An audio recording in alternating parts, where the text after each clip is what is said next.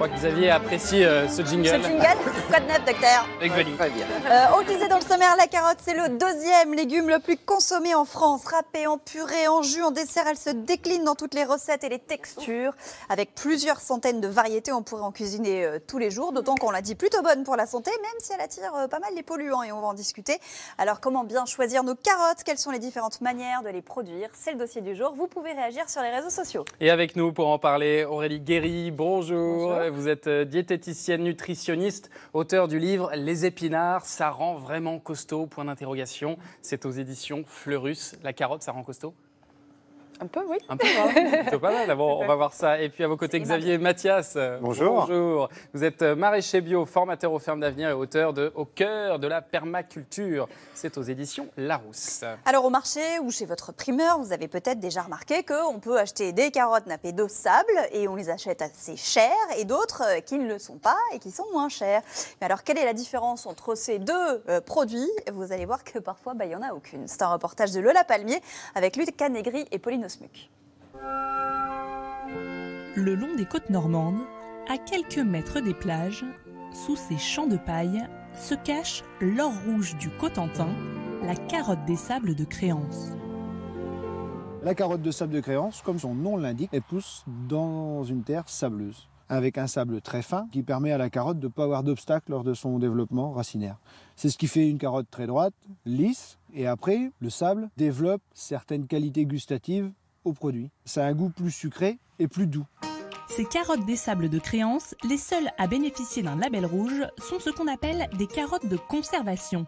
Elles ont été semées entre mai et juin et elles étaient prêtes à être récoltées dès le mois d'août, mais une grande partie est restée dans le sable.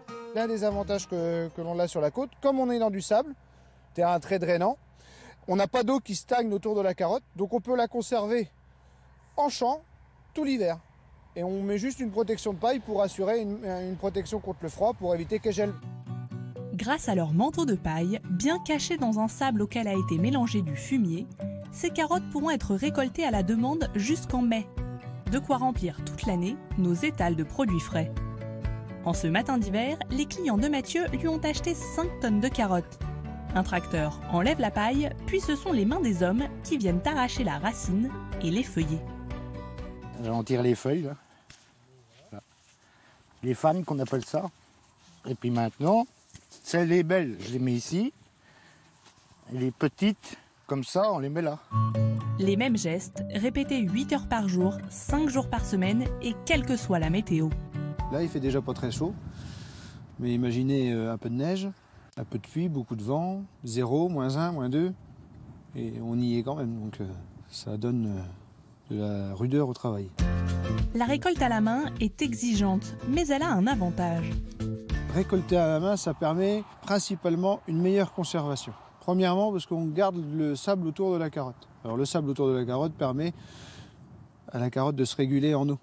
C'est-à-dire que quand euh, euh, elle joue euh, une sorte d'éponge autour de la carotte pour améliorer sa conservation. Et grâce aux récoltes manuelles, on diminue le nombre de chocs.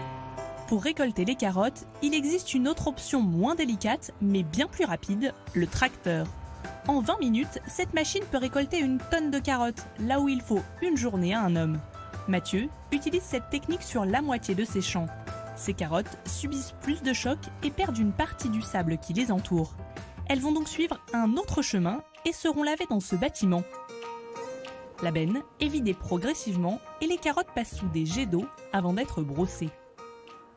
C'est-à-dire en plus d'enlever le, le sable, on l'a fait passer dans des brosses, qui permet d'enlever un- une, un- une fine couche de protection de l'épiderme, parce que cet épiderme, quand la carotte sèche, cet épiderme il blanchit. Et si on le laisse sur la carotte, eh ben, le consommateur a l'impression d'avoir une vieille carotte. Alors que si on la brosse, elle va rester rouge un peu comme on le voit sur la table. Et là, ça correspond à l'image qu'on a d'une carotte. Cette jolie carotte se conserve 3 semaines maximum au frigo, alors que les carottes non lavées pourront se conserver 2 mois dans une cave. Ici, tout est fait pour répondre aux attentes des distributeurs et des consommateurs. Alors, même si le calibrage n'est plus obligatoire dans l'Union européenne depuis 2009, ici, il est toujours pratiqué. Les carottes sont triées, standardisées. Nos acheteurs ont besoin d'avoir un maximum de, de carottes semblables pour qu'il y ait euh, une homogénéité dans l'achat et qu'il n'y ait pas trop de rebuts sur l'étalage. Même si celle-ci est aussi bonne que celle-là. Résultat, les carottes que nous consommons correspondent à la catégorie extra. Elles mesurent toutes entre 15 et 22 cm de longueur et entre 18 et 30 mm de largeur. Les carottes trop grosses seront vendues aux collectivités pour être transformées et les carottes tordues ou cassées iront nourrir les chevaux. Mathieu peut ainsi valoriser toute sa récolte et tenter de vendre ses plus beaux produits à un bon prix. Concernant les carottes lavées, catégorie extra, ce qui représente la litéma, la fourchette va de 50, euh, de 50 à 65 centimes le kilo. Pour la carotte non lavée, on est plutôt selon les destinations, 58 centimes à 70 centimes d'euros du kilo. Cette année, les carottes ont très bien poussé partout en France et en Europe. Résultat, alors que la consommation stagne autour de 9 kg de carottes par personne et par an, l'offre explose et les prix sont tirés vers le bas. Il en manque un tout petit peu, enfin 5 centimes à peu près, pour être dans un fonctionnement et dans une marge correcte de fonctionnement, pour établir euh, sereinement euh, l'avenir. Une baisse des prix que l'on ne retrouve pas forcément dans tous nos rayons. Chez ce primeur, les carottes de créance lavées seront vendues 1,95€ le kilo et celles entourées de sable atteignent les 2,95€. Xavier Mathias, qu'est-ce que vous en pensez de ces prix, de cette différence de prix quand il y a du sable ou quand il n'y a pas de sable Euh, C'est justifié pour vous? Alors, je pense que ça peut être justifié, que ça ne l'est pas toujours, hein, un petit peu comme d'habitude. Mais théoriquement, oui, les, les carottes de sable, ça traduit quand même une récolte qui est plus manuelle, plus humaine, hein, tout simplement. Plus, mais pas toujours. Pas toujours, voilà, mais euh, avec C'est-à-dire quand pourquoi même. c'est fait de manière mécanique, mais on laisse le sable dessus? Voilà, et euh, il y a quand même un, un détail qui est important, c'est que euh, une carotte euh, enco- encore avec euh, sa- sableuse, euh, ça montre qu'elle n'est pas passée par les frigos, etc., par les, les- les chambres froides. Enfin, donc déjà, on a quand même un temps de conservation qui est quand même beaucoup plus court, beaucoup plus bref. On est sûr de ça quand il y a encore du sable autour, c'est-à-dire qu'elle n'est pas passée en chambre froide. Elle n'a pas eu de stockage long, normalement. Ouais, D'accord. normalement. D'accord. En revanche, elle est peut-être restée des mois dans le sable. C'est ce que nous dit euh, quelqu'un qui nous dit certaines carottes restent donc des mois dans le sable. Est-ce que ça n'a pas un impact sur la fraîcheur du Ah produit? non, ça c'est le gros avantage des légumes racines en fait, c'est que une carotte, euh, quand euh, les, les- les températures descendent, quand les jours raccourcissent, elle entre ce qu'on appelle en dormance, c'est-à-dire qu'elle ne pousse plus et elle attend le printemps pour faire une fleur. Donc y on a un temps très très long en fait, pendant lequel il ne se passe rien et elle est très très bien en terre. Euh, Parce qu'on voyait, hein, il pas a juste trop- paillé euh, Ah, ça comme ça suffit. dans le reportage. Elle, elle est en dormance, exactement comme euh, des arbres vont perdre leurs feuilles et puis, euh, et puis laisser passer l'hiver et rebourgeonner au elles printemps. ne mais vont plus se développer, elles vont ah non, plus elles grandir. sont en dormance, voilà. Alors, ce qui a, on peut pas partout, parce que euh, s'il fait trop froid, ou si on est dans des terres trop humides, elles pourrissent dans, dans le sol. Donc c'est pour ça qu'en général, c'est plutôt sur le littoral, dans des terres très drainantes, où on fait cette technique des carottes de sable. D'accord. Euh, Pierrette vous dit j'adore acheter des carottes des sables, mais est-ce que je dois les laisser dans le sable jusqu'à ce que je les cuisine ou est-ce que je dois les laver en rentrant? Alors, si vous avez un jardin, euh, si vous avez cette chance, un truc très tout simple hein, pour conserver les carottes, vous faites un trou, vous les mettez dedans et vous bouchez le trou. Voilà, donc euh, Ah ouais. ça, oui, oui. bah, bah, Quelle que soit la terre euh, Ah oui, c'est Ouais. ça, ce sera très bien en fait, euh, tant qu'il ne gèle pas à pierre fendre, hein, bien sûr. Donc, euh, autrement dit, la- l'idée que d'avoir euh, du sable ou de la terre sur les carottes, c'est bien pour la conservation.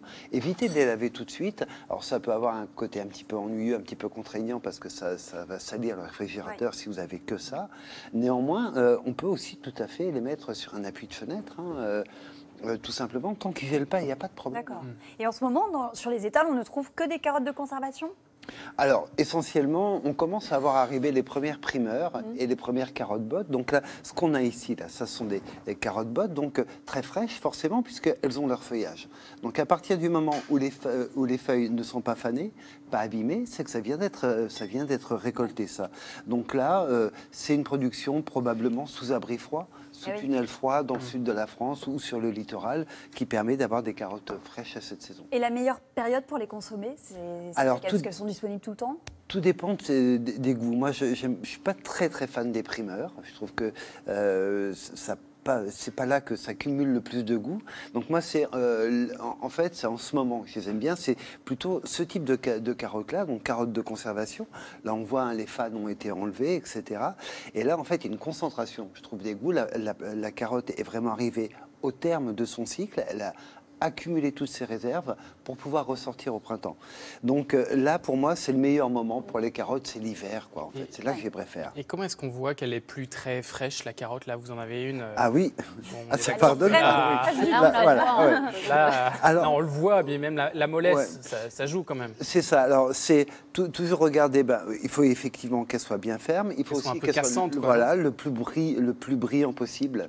Euh, toujours les légumes en général, le côté brillant est, est- est vraiment extrêmement important. C'est pas des bien. produits chimiques parfois qu'ils rajoutent dessus pour que ça brille non, mais pour les, pour Ah, les pommes, on avait dit qu'il fallait s'en méfier. Oui, je c'est crois. vrai. Euh, pommes, oui. oui, oui, oui, mais je, pense La que cire. oui, oui, on, on a, on a tellement affaire à des, euh, bon, euh, voilà, des, des malandrins, on va dire, que, ouais, que, que on, on- on peut, oui, c'est possible en plus hein, sur les pommes, on sait qu'il y a des cires, etc. Donc, euh, donc pourquoi pas? Alors c'est encore une fois, moi je recommande vraiment, euh, bah, vous achetez en bio euh, si possible et dans l'idéal vraiment, voilà, dans le coin, c'est quand même, c'est quand même le premier gage de qualité. Arthur nous dit J'ai mangé des carottes chaque jour pendant plusieurs mois et j'ai eu la peau toute jaune. C'est quelle drôle d'habitude, Arthur. Oui, euh, on dit aussi que euh, la carotte, ça donnerait les fesses roses. Est-ce que c'est vrai tout ça et à quoi c'est dû? Alors c'est vrai que la carotte, c'est un des légumes qui renferme le plus de bêta-carotène. Justement, c'est le pigment qui donne euh, la couleur orange à la carotte. Euh, donc euh, oui, en mangeant de la bêta-carotène, ça colore euh, un petit peu la peau. Et euh, c'est vrai que ça, ça a tendance à jouer là-dessus. oui. Et qu'est-ce qu'il y a d'autre d'intéressant dans une carotte? Alors mais déjà, le, le bêta-carotène, c'est un élément qui est, euh, qui est assez intéressant puisqu'il euh, il a des propriétés antioxydantes, donc euh, c'est intéressant. Il a surtout aussi euh, l'avantage aussi de, trans- de se transformer en vitamine A. Donc il y a plusieurs fonctions justement, euh, de grandes fonctions indispensables pour l'organisme dans, le- dans la vitamine A, notamment au niveau de la vision, euh, euh, du renouvellement des tissus, euh, pour les défenses immunitaires. Après, on trouve aussi plein de, de fibres, d'autres vitamines du groupe B notamment, et euh, des minéraux aussi, euh, comme le potassium, le calcium, le fer. On dit que ça rend aimable. Ça ça. rend aimable les Il y a plein de vitamines, alors c'est possible. Parce qu'on oui. est en forme. c'est Grâce ça aux vitamines. Grâce aux Ouais. vitamines, oui, comme de- beaucoup de fruits et légumes aussi. Ouais. Et alors, Ce côté un peu allé, hein, euh, peut-être ça joue aussi. C'est ce qu'on retrouve aussi dans les petites gélules là, que vous nous avez amenées, qu'on va trouver en pharmacie. Tout à fait. Euh, ça, c'est vraiment efficace, ça Ben, Ces gélules à base de bêta-carotène C'est à base de bêta-carotène, tout à fait. Donc, comme c'est un pigment, comme je disais, en effet, oui, ça va être efficace, enfin, surtout pour son pouvoir antioxydant, euh, qui va justement permettre de lutter contre les, les effets des radicaux libres, justement, qui sont causés euh, par les rayons UV. Donc, ça va permettre de diminuer le, le vieillissement prématuré des cellules. Et c'est vrai que le bêta-carotène, même sous forme de gélule, oui, ça, ça va marcher pour, on va dire, c'est bien de faire une cure euh, de ce genre de gélule un mois avant une exposition au soleil, par exemple, euh, pour que la peau, euh, justement, tolère mieux le soleil, pour la protéger un peu. Mais évidemment, en aucun cas, ça remplace une crème solaire. voilà, de, non, évidemment. de Mais est-ce que ça remplace le fait Est-ce que c'est équivalent euh, en termes d'efficacité que si on mangeait des carottes tous les jours pendant un mois? Ben, moi, je veux dire qu'il n'y a rien de mieux que l'alimentation naturelle et saine, évidemment. Mais après, comme c'est du bêta-carotène, on va dire oui, ça, reste efficace. Après, attention, c'est pas, enfin, ça n'accélère pas le bronzage, par contre. hein. C'est, euh, c'est du faux bronzage, c'est-à-dire que ça colore la peau, mais ça n'a rien à voir avec euh, la synthèse de la mélanine qui est liée voilà, euh, à d'autres, éléments. Et alors, vous nous disiez que ça contient pas mal de vitamine A, donc Mhm. euh, ça peut être bon hein, effectivement pour la vision. Et ça, l'armée britannique s'en est servie pendant la guerre. C'est. Une des meilleures histoires de propagande que je connaisse, et donc nous sommes encore victimes. En 1939-40, au début des attaques allemandes sur l'Angleterre, les Anglais mettent au point un radar ultra secret qui permet de détecter l'arrivée des avions beaucoup plus tôt que ce que les radars de la génération précédente permettaient. Mais ils ne veulent surtout pas que ça se sache, donc les Allemands vont faire des recherches là-dessus aussi, voire faire de l'espionnage. Donc ils lancent une grande campagne grâce aux carottes nos pilotes voient de plus en plus loin. Et il y a des affiches dans toute l'Angleterre. Résultat, production de carottes explose, les gens mangent de plus en plus de carottes. Mais ce qu'il y a de mieux, c'est que la Luftwaffe décide de donner aux pilotes allemands des carottes aussi pour améliorer leur vision. Ça n'a bien entendu jamais amélioré, amélioré la vision, mais ça reste dans l'inconscient collectif depuis maintenant 70 ans. Ça. Ça fait, on voit mieux quand on mange des carottes. Génial cette ah oui, histoire. c'est une histoire. Mais c'est pas quand même un peu vrai? Un peu, c'était ouais. ça. Aussi, la vitamine A, oui, Ouais. tout à fait, C'est qui est ça. contenue dans la carotte, euh, euh, justement, améliore la vision, notamment la vision Voilà. nocturne. Mais il y a aussi d'autres composés que la vitamine A, euh, qui sont deux composés antioxydants, la lutéine et la zéaxanthine, qui vont aussi, euh, enfin, qui sont indispensables à la bonne santé de l'œil. Donc, voilà, il y a plusieurs composés. D'accord. Donc c'est pas la- tout à fait que de la propagande. On a changé le cours de la guerre. Euh, Eric vous dit J'aimerais faire pousser des carottes, mais mon sol est très argileux. Est-ce tout de même possible? Bien sûr, oui, oui. On, on fait pousser des carottes dans des terres très légères et très sableuses. Euh, uniquement pour euh, faciliter la récolte mécanisée. Mais les, les- les carottes poussent dans n'importe quel type de sol, en général un petit peu plus lentement, il est vrai, dans des, dans des sols argileux, euh, avec un énorme avantage. Moi, je trouve que les carottes qui ont poussé dans des sols argileux ont des saveurs bien plus marquées Ah en ouais. général. Parce que dans une terre sableuse, il faut irriguer, il faut fertiliser plus, etc. Donc on va avoir une dilution euh, des saveurs. Euh, alors dans les terres argileuses, euh, non, on, on les laisse, on les laisse faire, venir beaucoup plus lentement. Et je trouve que ouais, vraiment on a des bonnes saveurs. Et alors, il paraît que les carottes retiennent particulièrement les pesticides et qu'on en trouve même des résidus de pesticides dans les carottes bio. Ah oui, alors dans les, dans les carottes bio qu'on trouve des résidus, oui, ça, ça je suis pas étonné, puisque malheureusement, moi j'ai fait le choix d'être en bio, mais je suis obligé de subir hein, le choix inverse qui a été fait par 95% des agriculteurs en France. Donc effectivement, il y a des traces de résidus, ça, ça fait aucun doute, dans tous nos légumes, mais il y en a euh, dans l'eau quand il pleut, il y en a dans l'eau dans les nappes phréatiques, il y en a absolument partout. Bon, après, on est sur des dilutions qui n'ont plus rien à voir, on est dans des rapports de 1 à 100 ou beaucoup Oui. plus que ça. Donc, euh, raison de plus, moi je trouve, pour continuer à être en bio. À partir du moment où on sait qu'on est victime de cette pollution-là, ben, raison de plus pour être de plus en plus de nombreux euh, à, à consommer bio, à produire bio, etc. Parce que, parce que progressivement, on va redevenir plus raisonnable, moi je pense. Euh, Laurence a fait une découverte, elle a découvert le panais qu'elle trouve absolument euh, délicieux. Euh, Est-ce que ça, ça vient de la même famille que la carotte, le panais? Ah oui, oui, oui. C'est des ombellifères toutes les deux. Et donc, on, on a souvent, on a longtemps confondu. En fait, on ne sait pas très bien de qui on parle dans les, dans les, euh, dans les écrits anciens. Est-ce qu'il s'agit du panais, de la carotte Euh, Tout ça était, dé- était euh, désigné sous, sous une appellation vague, donc pastènaka ou, de, ou carota, etc. On ne sait pas exactement de qui il s'agit. En fait, l'histoire de la carotte, on a du mal à la, à la retracer précisément pour ça. Moi, les, les, les panais donc, sont en général plus douceâtres, Ouais. plus sucrés encore euh, que, que les carottes. Moi, je raffole de ça. C'est délicieux. Euh, je, ouais, moi, j'adore vraiment ça. Je sais que les enfants, en général, ont, un peu de mal hein, avec la, la texture très C'est vrai. crémeuse, très épaisse des C'est panais. plus épais, ouais. Ouais. Et alors, il y a beaucoup, il y a, il y a plusieurs centaines de, de variétés de carottes. On a l'impression qu'on on retrouve toujours les mêmes, hein, la carotte orange. euh, Voilà, ouais. Alors que on a euh, bah, des carottes, des carottes jaunes, des carottes blanches. Alors, on a du mal hein, à faire passer l'habitude, à faire revenir les carottes jaunes. Pourquoi? Parce que c'est une tradition fourragère. Moi, quand j'amenais des, des carottes jaunes au marché, on me disait ah c'est des carottes à lapin, c'est des carottes. Euh, c'est- c'est- oui, oui, donc c'est resté beaucoup, hein, ça hein, quand même. Alors que euh, elles sont tout à fait intéressantes. Une carotte jaune, euh, une carotte blanche, Violette aussi, là. Violette, elles n'ont pas la ça. même saveur, forcément, puisque chimiquement, elles ne sont pas composées pareil. Il y en a qui contiennent des anthocyanes, d'autres d'autres plus de carotène, d'autres des flavoïdes, etc. Donc, euh, en fait, Elle, elle en est fait, violette on- à l'intérieur? Et Est-ce que ça Ah, veut non. dire que comme les pommes de terre, on va se trouver Ah, non. certaines variétés de carottes qui vont être meilleures en râpé ou en purée Ou est-ce que vraiment euh, toutes les variétés peuvent se cuisiner euh, à l'in- Moi, moi, moi, je trouve que c'est pas tant sur la variété que ça va changer beaucoup, c'est plutôt sur la, euh, sur la période. C'est-à-dire que la- en, en hiver, euh, sur des carottes de conservation, c'est vraiment les plus polyvalentes à mon sens. Ouais. On peut à peu près, enfin, euh, honnêtement, tout faire avec. Par contre, tenir compte de la différence de goût. Quelqu'un qui aime beaucoup le goût de carotène, euh, très fort qu'o- qu'on a, va être déçu par une carotte blanche, hein, parce qu'il est beaucoup plus Ah oui. discret derrière. hein, quand même. Et les qualités nutritionnelles vont être différentes selon les variétés de carottes ou on va Ouais, trouver justement, les euh, oui, euh, justement, en fait, selon la couleur, il va y avoir plus ou moins de bêta-carotène. Donc, dans les blanches, on va en avoir moins que dans les euh, oranges ou les violettes, euh, Mm. tout à fait. Euh, Pascal vous dit Je suis en plein régime. Une amie me déconseille de manger de la carotte parce qu'elle aurait un index glycémique élevé. Qu'est-ce que vous en pensez? C'est vrai que c'est sucré la carotte. Bah, justement, c'est une fausse croyance, c'est pas si sucré que ça en fait. C'est vrai, ça reste peu calorique. 100 grammes de carottes, donc une carotte moyenne, ça apporte environ 36 calories et un peu plus de 6 grammes de glucides, donc ça reste très modéré. Donc il peut en consommer. Et alors, pour garder tous les bienfaits de la carotte, il vaut mieux la consommer crue ou cuite?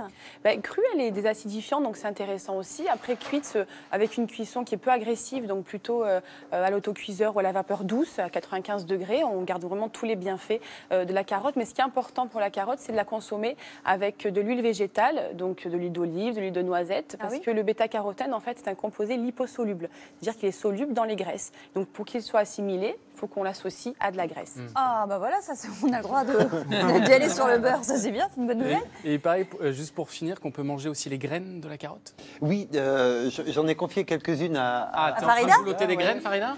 C'est fabuleux. En termes de parfum, c'est excellent. Je, les, je parsemerai mes rostis avec ces graines.